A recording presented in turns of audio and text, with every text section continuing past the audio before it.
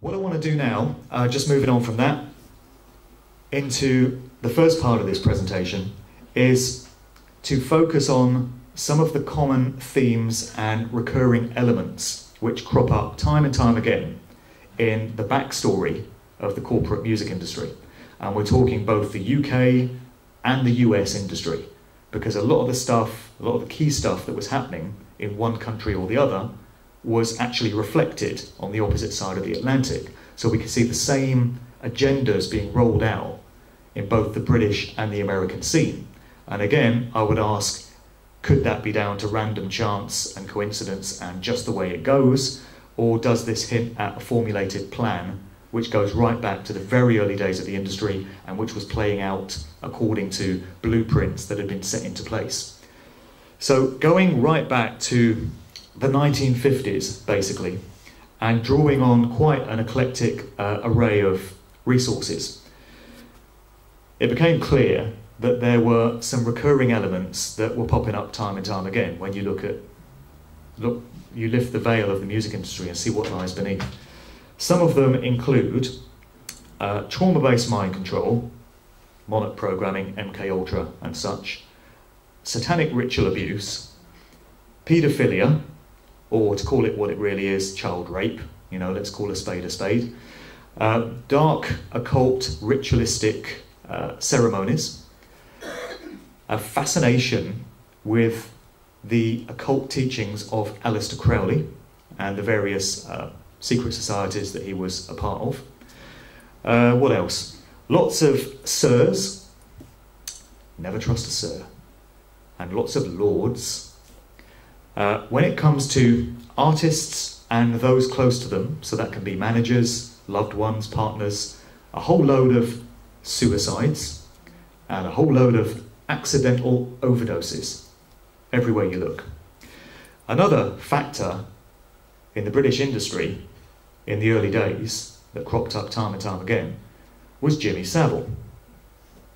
A question which you might like to ask yourselves, which I ask at all my events, is what connection should there be between an industry that's supposed to be about entertainment, fun, forgetting all the stresses and strains of the working week and letting your hair down at the weekend and enjoying yourself and you know using your leisure time in a way that pleases you. What connection should there be between all of that and things like paedophilia uh, dark occult uh, satanism and, and all this stuff there shouldn't really be any connections that you would expect to find and yet we find them time and time again so jimmy savile we all know about him no need to recap on him I have to recap for US audiences because they don't really know too much about him, but I don't think it's necessary to do that in the UK.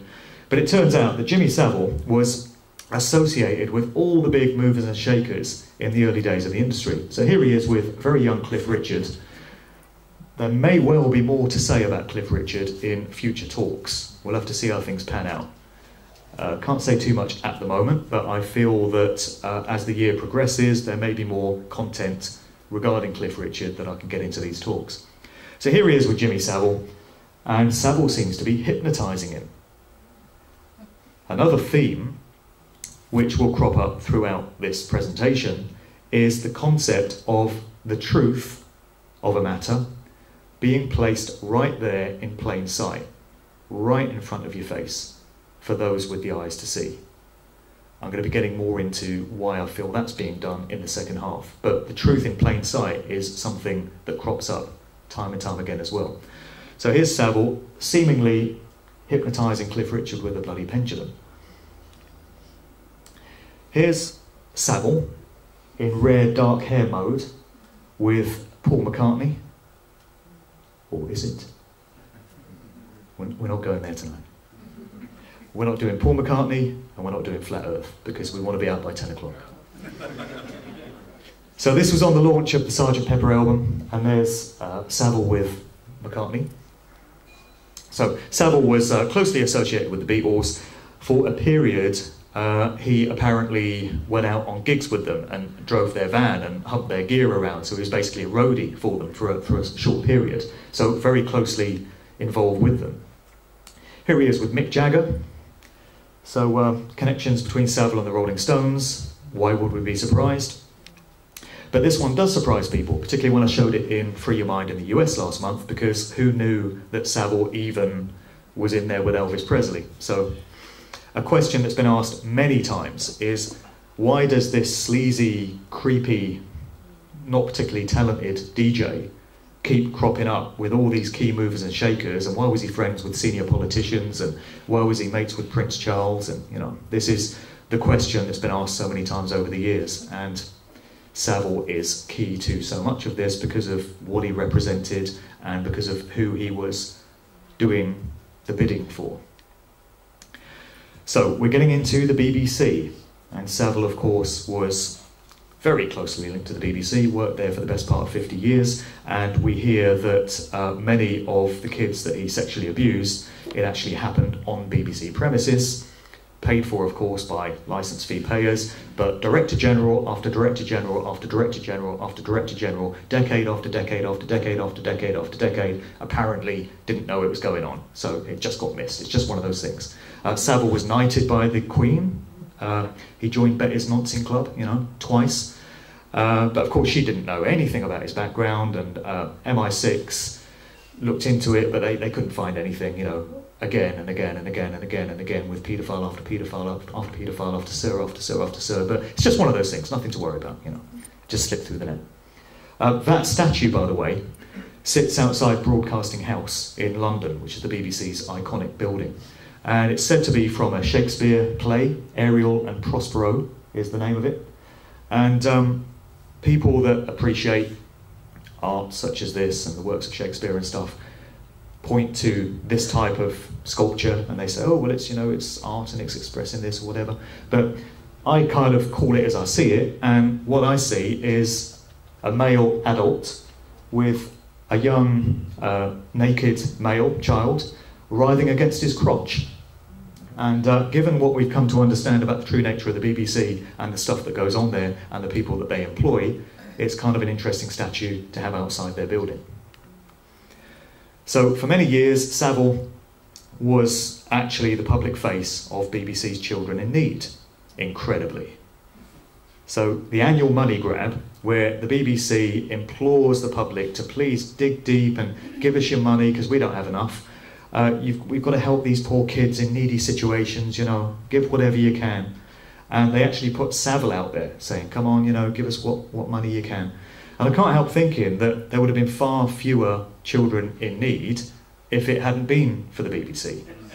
So the hypocrisy of them, first of all, having an annual money grab and saying, come on, we've got to help these poor kids, we care about them, and then putting a serial paedophile on display as the public face of this programme is monumentally taking the piss.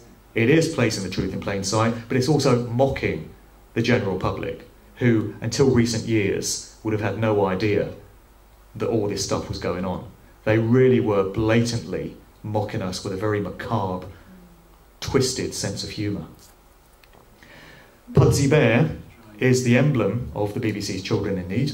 I've got a lot of stuff in the book about uh, symbolism, and particularly symbols that are employed to hint at the presence of mind control, trauma based mind control, and satanic ritual abuse, generational satanic ritual abuse, where they take kids from specific bloodlines that are deemed important and from a very age they subject them to horrific traumas which causes uh, the mind to disassociate from reality and the different personalities that are created can then be programmed with different uh, personalities which are brought out at will so again there's more on how that all plays out in the book as well which I don't really have time to get into now.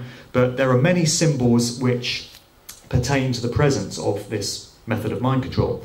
And one of them is a teddy bear. And it's often teddy bears that are pictured with broken limbs. So it could be an eye missing, it could be an arm, it could be a leg. You get the same thing with dolls, where you get dolls with broken arms. Same thing with shattered mirrors. And all of this is designed to uh, symbolize the shattered innocence of childhood that these subjects experience at the hands of you know, the perpetrators. So when you learn to spot all the signs and symbols, they kind of leap out at you when you see them. And one of them, as I said, is a teddy bear. Often teddy bears with eyes missing, and in this case, we've got one eye covered up, which also ties into some interesting symbology regarding little calling cards and little motifs that those that control these industries like to place in plain sight. Again, you see the covering of one eye all the time. So isn't it interesting that we have Pudsey Bear and part of the emblem is just that. And also, he's sitting inside a pyramid in the early version, which is another interesting symbol. So, Savile wasn't the only grotesque paedophile to have been wheeled out by BBC Children in Need. Uh, Gary Glitter here got in on the act, so they wheeled him out as well. There's sickening footage of uh, Gary Glitter guesting on one of Jimmy Savile's shows on the BBC where they're both sitting on a sofa and they're inviting kids up to come and sit on their knees. Is Rolf Harris on stage with Pudsey Bear. And uh, there were many others as well. So uh, that's just connections into the BBC. Uh, ultimately, everything is connected, really. Uh, everything feeds into everything else, and you just realise that it's a tapestry of information that overlaps and kind of coincides at every turn. And there's all these kind of synchronistic links between key players and prominent figures. So we're back to a young Cliff Richard, and one of his associates in his early days was this guy, Lord Boothby. I told you there'd be a few lords. Bob Boothby. Anyone that's seen the recent movie Legend about the Kray twins, where Tom Hardy plays both brothers. Bob Boothby is portrayed in that movie in a not particularly flattering way. So uh, Cliff Richard, it's on public record that he was, you know, associated with them. The nature of their relationship is open to debate, but you probably also heard that Cliff Richard has been implicated with the Elm Guest House in London, and his name appeared on a list of uh, famous celebrities that are said to have attended that particular place. So here are the Kray twins. Uh, most folk in the US don't tend to know who these guys are either. They know all about the Manson murders, but they don't really know about the Krays. So I usually spend a bit of time explaining the Krays to an overseas audience. But uh, the official version that we have of the Krays, or the Wikipedia version, is that they were these East End gangsters and they were into various criminal activities, you know, running drugs and laundering money and beating people up and then ultimately murdering people. But there's another aspect to their activities which many researchers have uncovered, which you don't tend to hear about in official biographies and on Wikipedia. And this is the very strong suggestion that the Krays were actually involved in procuring children from care homes for use in these VIP elite paedophile rings. That was a, a part of their uh, service. And all the other criminal stuff was kind of a smokescreen to conceal this aspect of their activities. So uh, the Krays, it turns out, knew Cliff Richard, and the Krays were tied in with many prominent politicians of the day, and there's connections into the Rolling Stones and the Beatles. And again, you can ask yourself, why should this be? But as I say, there's overlapping kind of correlations everywhere. And some researchers have even speculated on whether the Kray twins could have been subjects of mind control themselves given that, particularly with Ronnie Kray, his mood would often change from peaceful and placid and urbane to violent and psychopathic at the drop of a hat, which is very endemic of the, the presence of mind control. And uh, often in mind control experiments, twins are used and have been historically, going right back to the Nazi doctor Joseph Mengele. And a lot of the experiments that he did in the concentration camps in the Second World War were on twins because he wanted to see whether the twins could dis- disassociate and kind of take over each other's persona. So it's all deeply sick stuff, but twins were often favoured in mind control experiments, so it makes you wonder.